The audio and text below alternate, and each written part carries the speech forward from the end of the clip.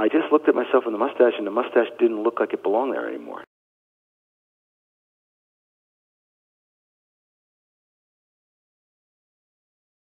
So, so I read that you shaved the mustache. Was it around 1990? Is that about right?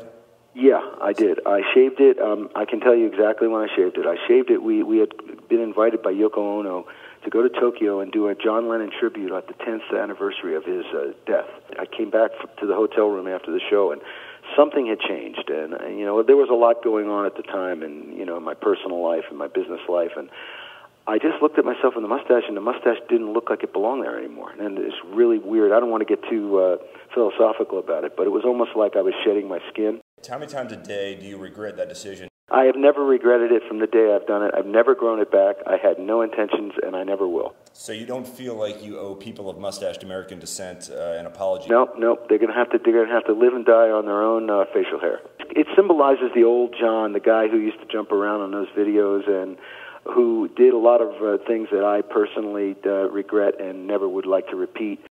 Did you know that every time a mustache is shaved, an angel in heaven dies and falls to earth? I kind of blew that one, I guess.